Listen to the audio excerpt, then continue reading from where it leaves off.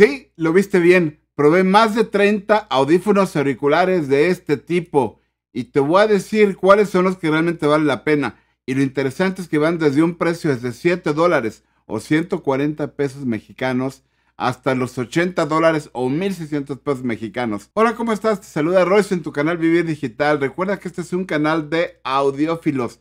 A mí me gusta analizar realmente el equipo de audio para ver si nos ofrece esa calidad de audio soñada que estamos buscando cada uno de nosotros que participamos en este hobby o pasatiempo tan bonito cuyo nombre es audiofilia. Llevo ya revisado cientos de auriculares en este canal y tengo una tabla de calificaciones donde voy apuntando los resultados para que tú tengas la información clara de cuáles son los mejores modelos, cuánto cuestan, qué características sonoras tienen y qué es lo que más te conviene, si te pueden servir para jugar o no, si te pueden servir para monitorearte o no. Y toda esta información la encuentras abajo en la caja de descripción. En este video debo confesarte que por fin descubrí muchas realidades de por qué mucha gente al momento de que escucha por primera vez unos audífonos auriculares con calidad de audio audiófila, queda como un poquito desconcertada porque dicen, oye, pero es que estos audífonos que me estás recomendando no tienen esa cantidad de graves que a mí me gusta tener. Y ya entendí la razón. Lo que hice fue irme a Amazon México y comprar los modelos más vendidos ahí, entre los cuales encontré estos JBL, estos Samsung, estos Sony, por supuesto, los AirPods de Apple y también un modelo más de Panasonic.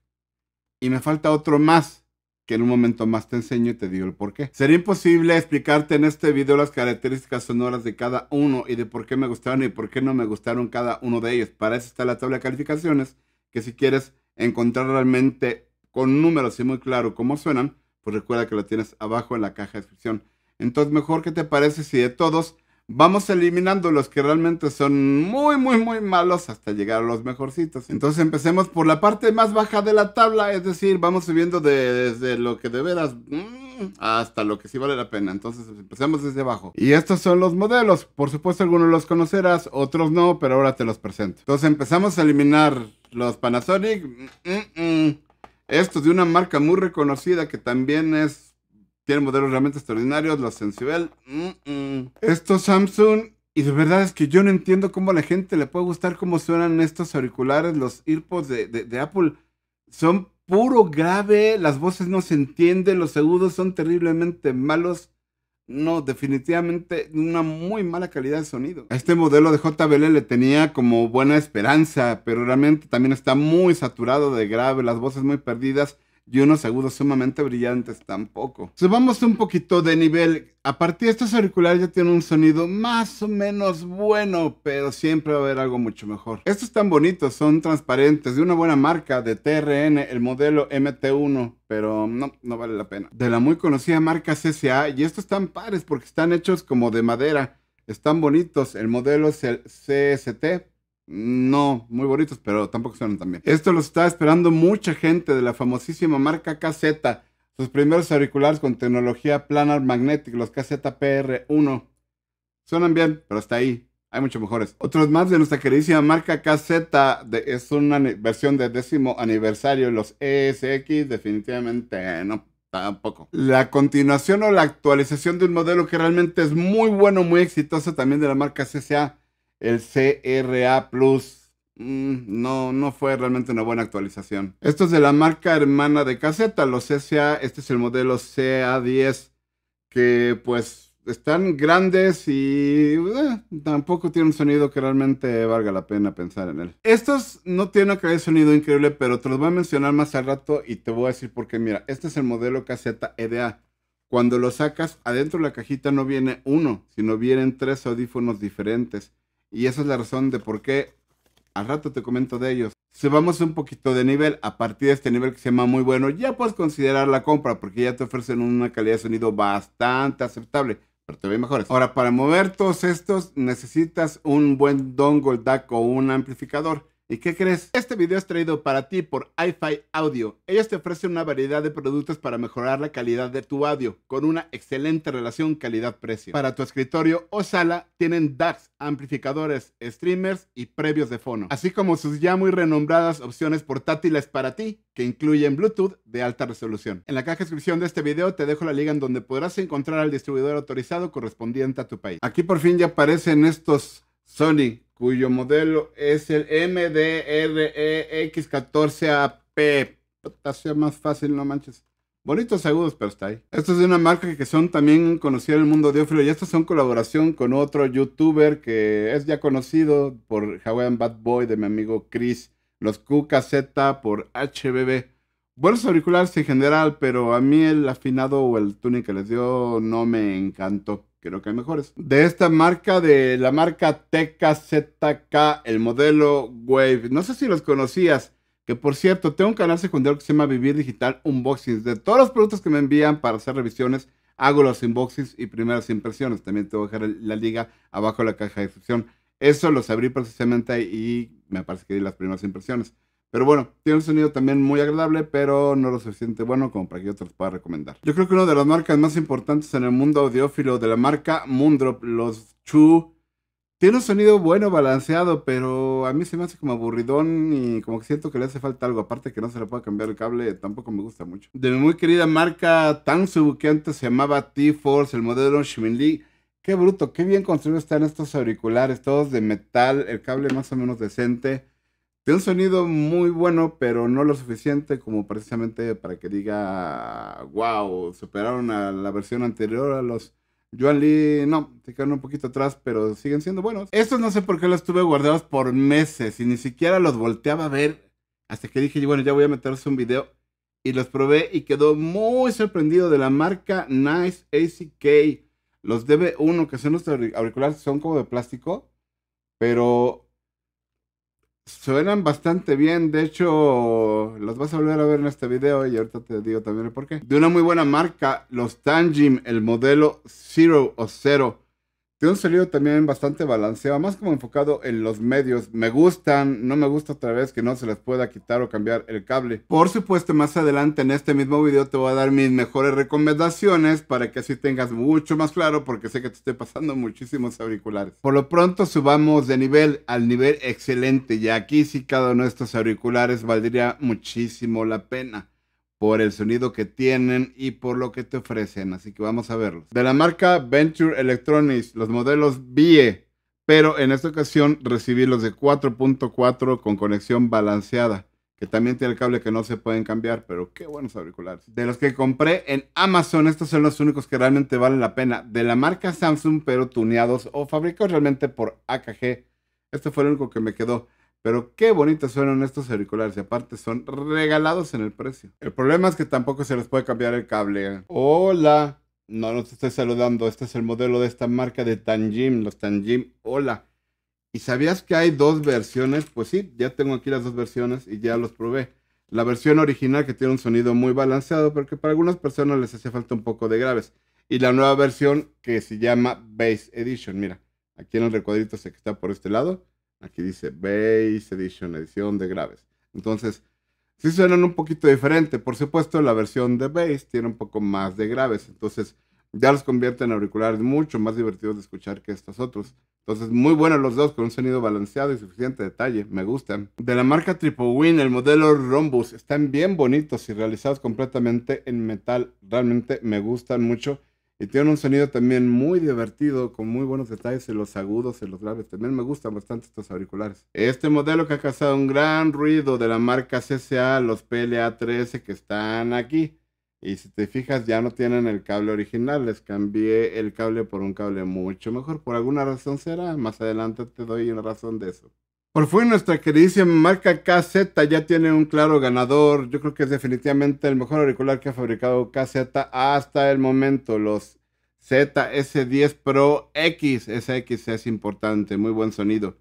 Y ahorita te hablo también de ellos. De la marca True Here, una colaboración de Crina con otro youtuber, el modelo Zero, que están bonitos. La construcción es bastante buena. Esto se tiene un subwoofer aquí adentro. El sonido es muy bueno. Técnicamente sí, suena muy bien.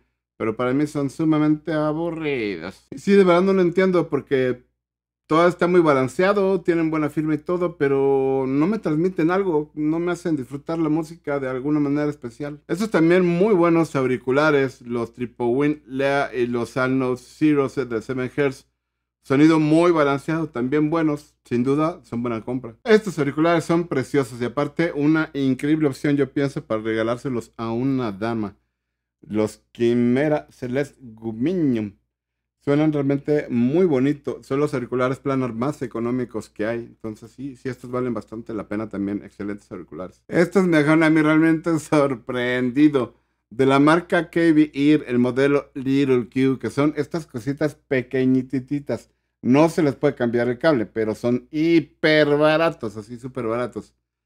Ahorita también te hablo de ellos. Ninguno de ellos llegó a la parte más alta de mi tabla de calificaciones, que es el nivel no mames. Sin embargo, sí hubo uno solo que llegaron al nivel casi tope, que es el nivel superior. Y sí, como lo viste de la marca Team Hi-Fi, el modelo T2, la nueva versión, el modelo DLC, que estos son un retuneado del retuneado de una versión que han revisado, sacado varias versiones diferentes de este T2, pero por fin este modelo de DLC es el que para mí es el mejor de todos los modelos de T2 que han salido hasta ahorita. Increíbles auriculares y también un precio muy, pero muy decente, abajo de 50 dólares. Por supuesto, estos Team Hi-Fi T2 DLC serían mi primera recomendación. Muy buenos auriculares en todos sentidos. Si eres nuevo en este lindo pasatiempo de la audiofilia o simplemente quieres encontrar unos buenos auriculares, pero no sabes qué tipo de firma de sonido, es decir, cómo suena algo es lo que más te gusta, es decir, no conoces los términos cálido, neutral o analítico, o es lo mismo, que tenga más graves, un sonido más plano o que tenga más brillo, entonces te sugiero mucho estos, los KZ EDA. ¿Por qué? Porque dentro de una sola caja por el mismo precio recibe las tres firmas de sonido diferentes. De los tres, ninguno tiene la mejor resolución, la mejor calidad pero sí te van a ayudar definitivamente a saber qué tipo de firma de sonido es la que más te puede gustar a ti. Y una vez identificado, entonces sí a poder brincar hacia algo que realmente te puede gustar mucho más porque ya vas a saber qué es lo que te gusta, pero podrás conseguir algo que tenga mucho mejor resolución, mucho mejor calidad, mucho mejores detalles, etcétera. Pero este es el inicio. A ver, mi siguiente recomendación. No me importa qué tan mamón, digo, qué tan audiófilo seas gástate menos de 16 dólares. Y por favor, prueba esto, los KBR Little Gear. Sí, no tienen la forma de que le cambies el cable y traen micrófono. Pero no tienes idea de lo estúpidamente divertidos que son estos auriculares de escuchar. Por menos de 300 pues puedes salir a la calle y estar disfrutando de tu música con unos muy buenos graves, las voces lo suficientemente pues identificables, un poquito adelantadas, muy buenos agudos Vaya, qué buenos auriculares para disfrutar tu música. Ahora, igualmente, si quieres algo un poco más fino, una construcción como más sólida, pero también muy divertidos, pero que tengan una colección balanceada, esto, los Venture Electronics, los vi. Llevo tres años recomendándolos y los voy a seguir recomendando porque son realmente increíbles auriculares por menos de 20 dólares. Ah, pero si a esto les pones 10 dólares más, es decir, 30 dólares o 600 pues mexicanos, ya te los llevas con un dongle DAC. Si eres de los que crees que el Chi-Fi no vale la pena, es decir, que la fabricaron en China no vale la pena, pues bueno, tienes por supuesto estos, los de la marca Samsung, marca coreana, fabricados por AKG. Muy buenos auriculares, escuchan muy bien. También son fabricados en China, pero por 14 dólares, neta sí. Ok, de todos los modelos que te presenté, el que más estoy usando yo de forma personal y que vas a seguir viendo mucho en mi canal Vive Digital Unboxing en las aperturas para realizar pruebas de amplificadores, etcétera, es los SAPLA13, que son los que traigo aquí. Por eso les cambié el cable. Yo disfruto muchísimo estos auriculares. Tiene el problema de que necesitas un buen amplificador un buen dongle DAC para moverlos pues decentemente, ¿ok? Pero estos auriculares a mí me encantan. Son muy, pero muy divertidos, muy cómodos. Me gustan mucho. No serán audiófilamente lo perfecto, el balance perfecto. Pero a mí me gustan los audífonos que me transmitan algo, que me hagan disfrutar. Y estos son eso. Y antes de darte mi última recomendación, si la información que estás viendo ahorita te está haciendo utilidad o te está haciendo entretenida, por favor ayúdame con un like. También te recuerdo que de todos los auriculares mencionados abajo en la caja de descripción vas a encontrar ligas.